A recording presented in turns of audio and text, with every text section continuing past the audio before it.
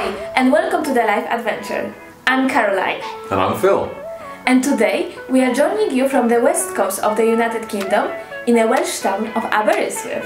And in this video, we're going to take you on a tour of Aberystwyth, meet some Welsh people, and learn a little bit about the history and the culture of Wales. Right, Caroline, what else we got coming up?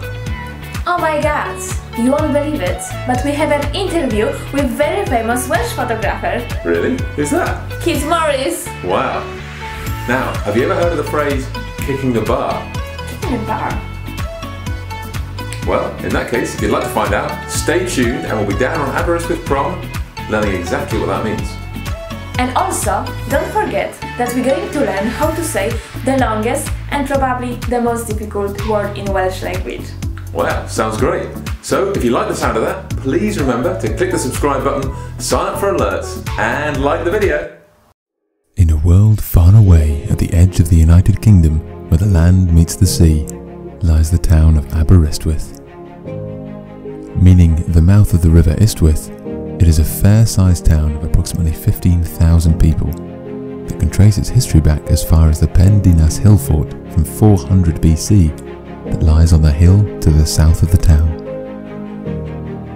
A university town, it is also home to a Victorian pier was created by the same architect who designed the iconic piers at Brighton and Margate. It is perhaps unsurprising that such a beautiful and artistic landscape is the home of renowned photographer Keith Morris, whose photographs have graced the front covers of newspapers and have appeared in galleries around the world.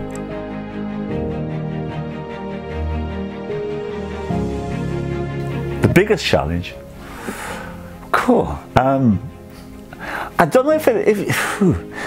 I suppose the biggest challenge is just to survive as a photographer or as, as any as any creative person, whether it be a photographer, painter, writer, musician, whatever, is just staying in the business.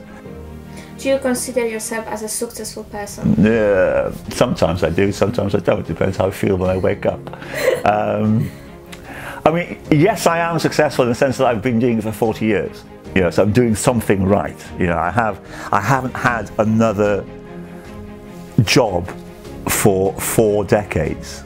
You know, so I'm do, obviously doing something well. Um, I have, you know, as any person does, they have their kind of self doubts about what it is they're doing and how they're doing it and why they're doing it and whatever. But to simply, you know, to, to be still in the business after 40 years is a mark of some sort of success. Were there any dark moments in your life? Oh, always dark moments. Yeah, yeah. You, you always have doubts. You know, you you think you, you, you wake up, you think, oh God, um, am I any good? But that's that's part and parcel of being of being a creative person. You know, if you if you're constantly thinking I am the best of this, then you know you're you're heading for a big downfall. But yeah, everybody, you know, even the most famous, well-established person, artist, will have doubts about what it is that they're doing. What was the biggest mistake you made in your life? If there is one regret or a mistake that I have, it's possibly that I have not tried hard enough. The biggest dream is to stay alive as long as possible. Okay, um, just be who you want to be. Um, try different things every day. Um, believe in yourself um, and don't be afraid to make mistakes. Um, the best way of learning is to get things wrong and then to do it again and get it right.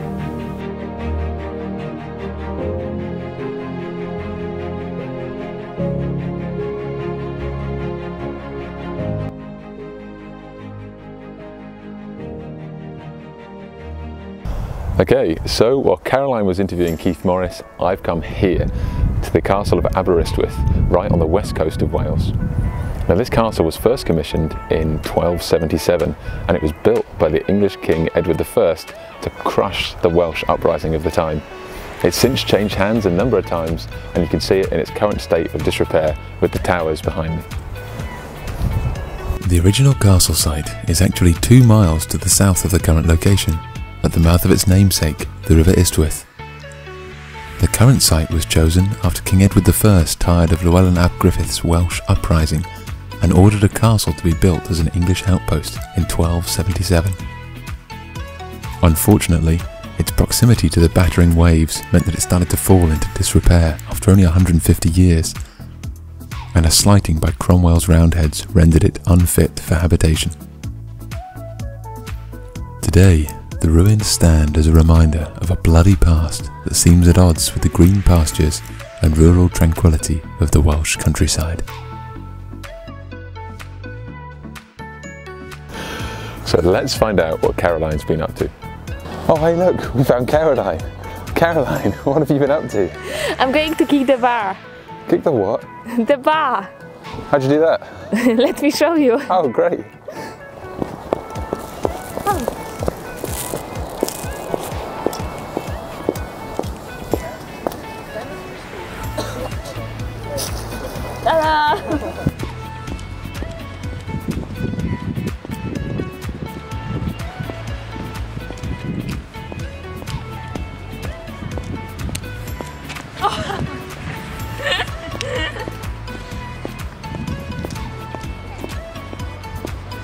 It's really really windy right now, but the building just behind me is the biggest library in Wales.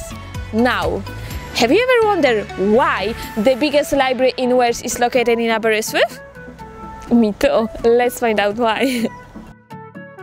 The celebrated physician and baronet Sir John Williams promised to donate his valuable private collection of manuscripts and books on the one condition that the National Library of Wales be established in Aberystwyth.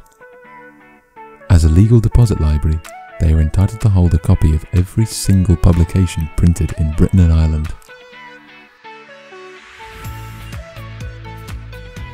To blow away the dust and cobwebs of the library archives, we decided to climb the Constitution Hill at the southern end of the Prom.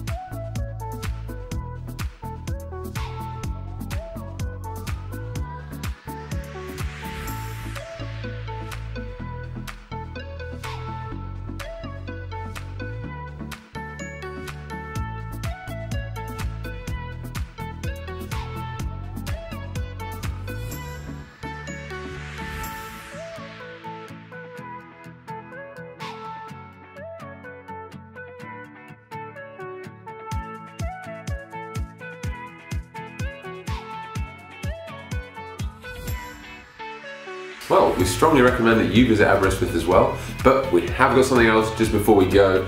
Like we promised, we have been staying with a native Welsh family who actually grew up speaking Welsh as their first language.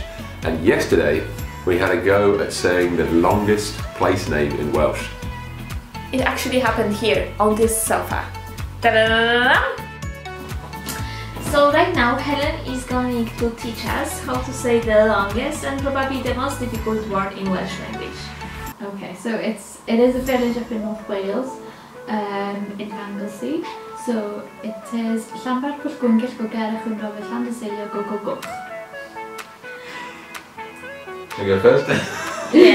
Lagi ngwrsio lapre grire go go go. You just made it half of what it's supposed to be. Your turn. Here we go.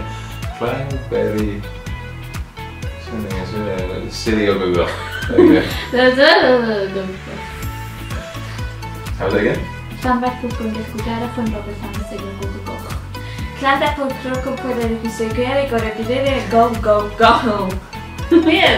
thank you so much for being with us today. Please remember to subscribe our channel, sign up for alerts and like, Like the video.